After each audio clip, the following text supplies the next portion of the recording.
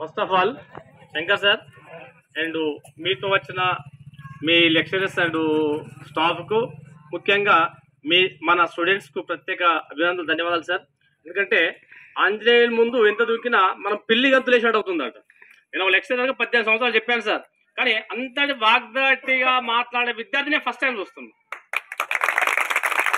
పద్దెనిమిది సంవత్సరాల్లో ఒక యాభై వేల మంది పిల్లలు నా చేతి నుంచి వెళ్ళిపోయారు. చాలా మంది అందరిగా మాట్లాడుతూ నేను కూడా రెండు మూడు గంటలు మాట్లాడగలను. కానీ ఆ రకంగా అంటే మనుషుల్ని కదిలించేటట్టు వారిటట్టు ఆ మాట్లాడినట్లు ఒక్క మాట కూడా పొల్లు పోకుండా. చరిత్రని కళ్ళ కట్టినట్లు ఆనాడు చరిత్రని ఈనాడు. నాకు తెలిసి పద్దెనిమిది వందల తొంభై మూడులో అమెరికాలోని షికాగో నగరంలో ప్రపంచ దేశాల సమావేశం జరిగింది. సార్? ప్రపంచ దేశాల ప్రపంచ మతాల దేశాల సమావేశం జరిగితే ఆ సమావేశంలో వివిధ ప్రపంచ దేశాల నుంచి వచ్చిన మేధావులందరూ కూడా మాట్లాడారు. వాళ్ళందరూ మన డైనమిక్ డైనమిక్ స్వామి వివేకానంద కంటే చాలా పెద్దోళ్ళు.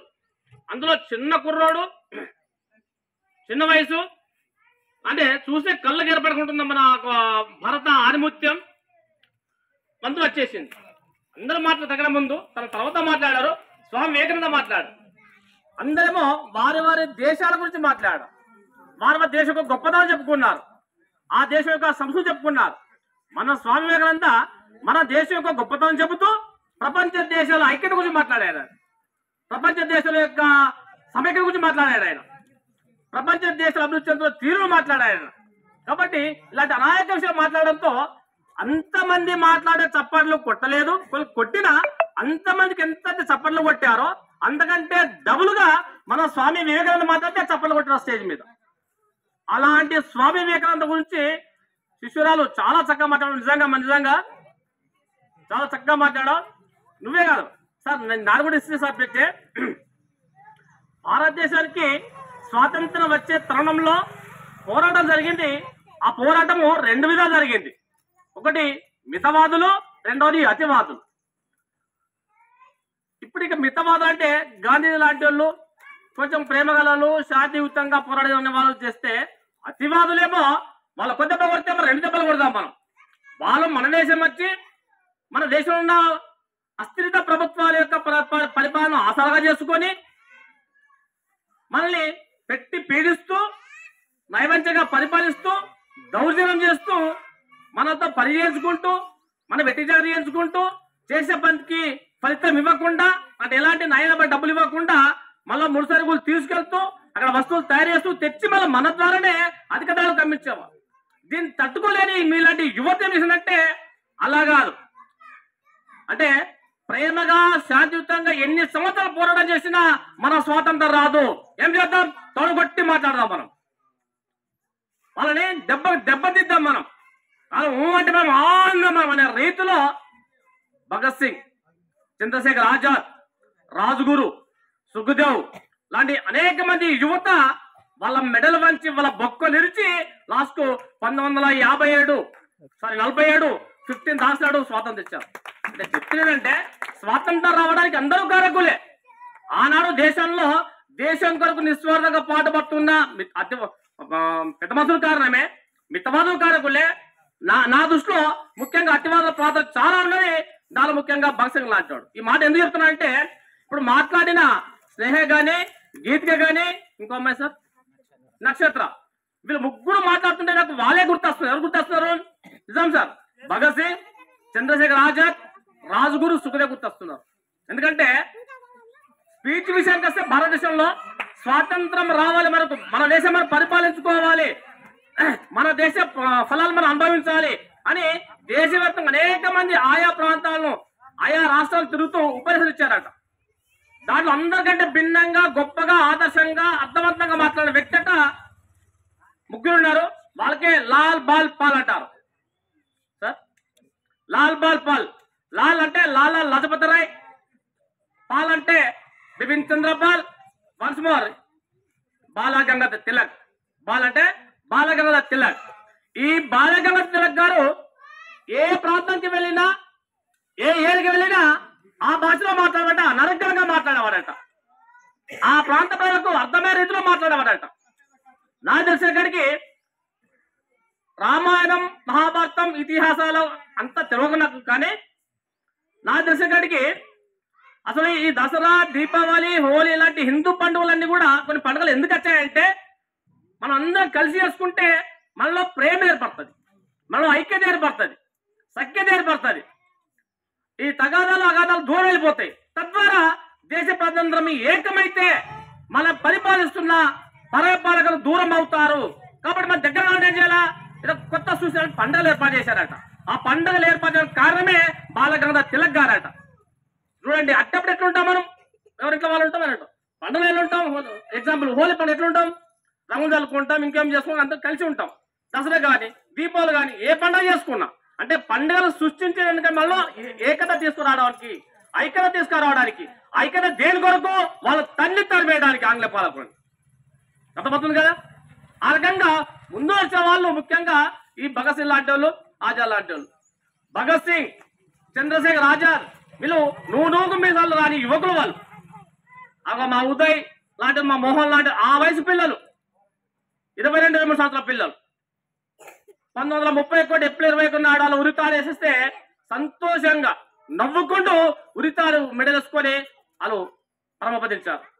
చనిపోయే ముందు కూడా ఇంక్యులాబ్ జిందాబాద్ విప్లవం వర్ధన అనుకుంటూ చనిపోయారు వాళ్ళు.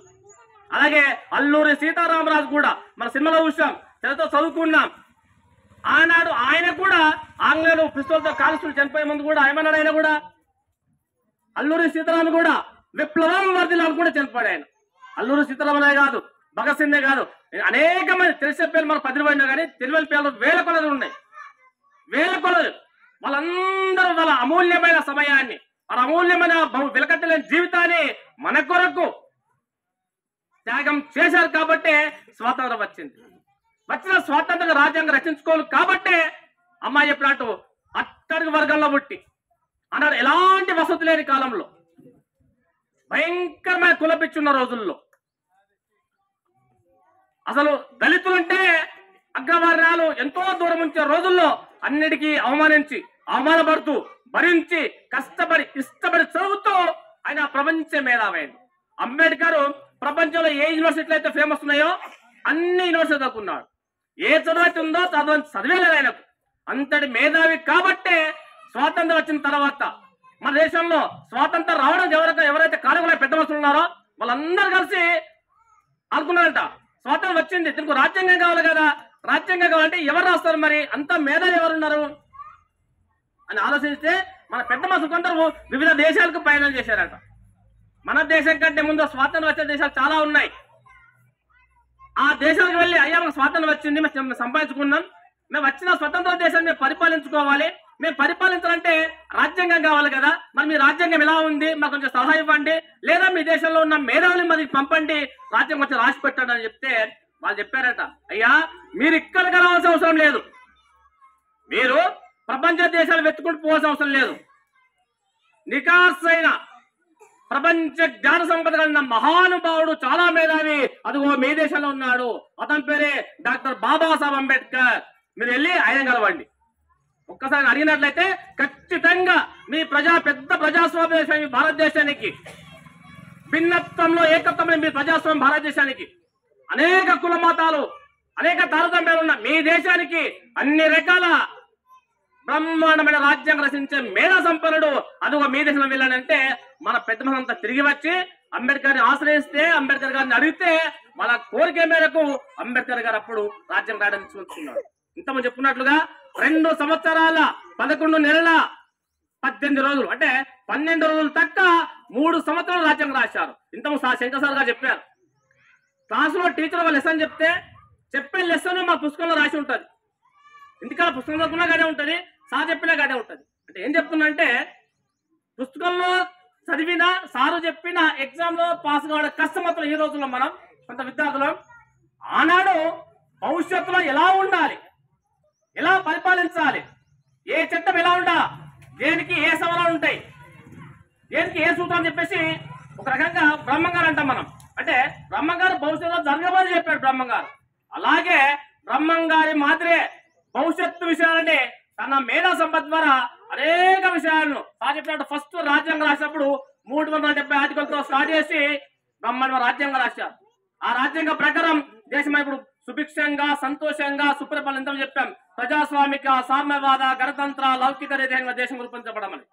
ఆ రకంగా వారి యొక్క ఆశీస్సుల వల్ల వారి యొక్క త్యాగాల వల్ల వారి యొక్క రచనల వల్ల వారి యొక్క ఆదర్శాల వల్ల వారి యొక్క మాటల వల్ల వారి యొక్క స్ఫూర్తి వల్ల మనం ఇంత సంతోషం ఆనందం ఉన్నాం.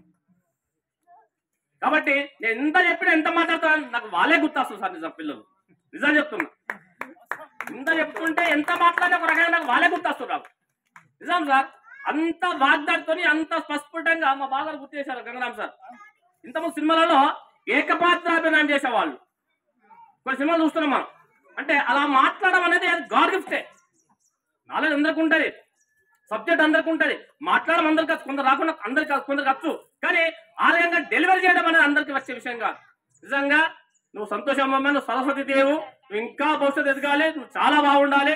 ఇంకా మంచిగా మాట్లాడు. నీ వల్ల మా మా టీచర్ గారు మీ మదర్ మా ఊళ్ళో టీచర్ మేము గౌరవపడుతున్నాం.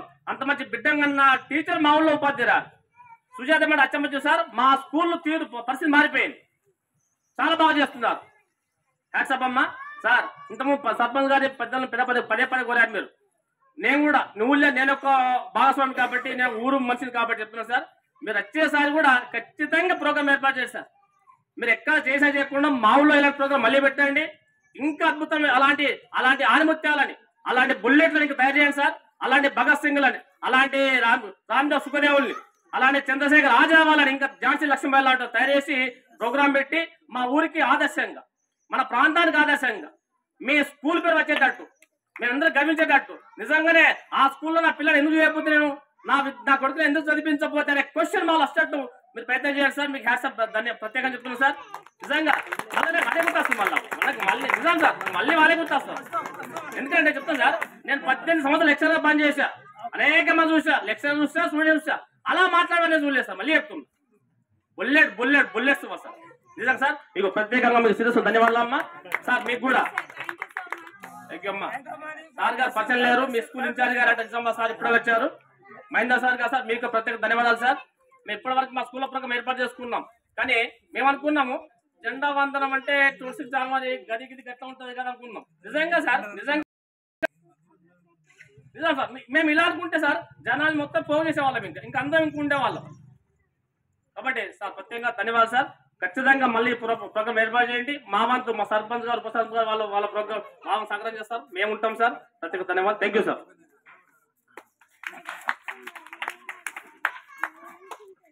హలో ఈ ప్రోగ్రామ్ మీరు కండక్ట్ చేసినందుకు మన ఊర్లో హాస్పిటల్ విలేజ్లో. అయితే మాకు పాత స్మృతులు జ్ఞాపకం వస్తున్నాయి.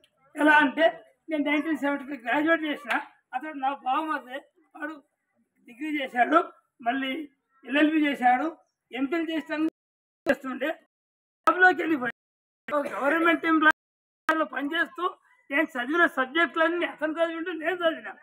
అలా అన్ని చెప్పుకుంటూ పోతే మొత్తం మాకు ఉన్నాయి అది చదువున్న వారికే అది చెప్తే అర్థమయ్యే సమస్య కదా. చదువున్న వారే దాన్ని అర్థం చేసుకుంటారు. సుభాష్ చంద్రబోస్ భగత్ సింగ్ ఝాన్సీ రాణి ఝాన్సీ లక్ష్మీబాయి సో ఈ మిగతా వీళ్ళంతా కదా. లాలా లజపతి రాయ్ బాల గంగాధర ఎంతో మంది మహానీయులు. త్యాగ స్వతంత్రం వచ్చింది. కరెక్టే. అతివాదులు అతివాదులు ఉండాలా మితవాదులు ఉండాలా? అవి అయితే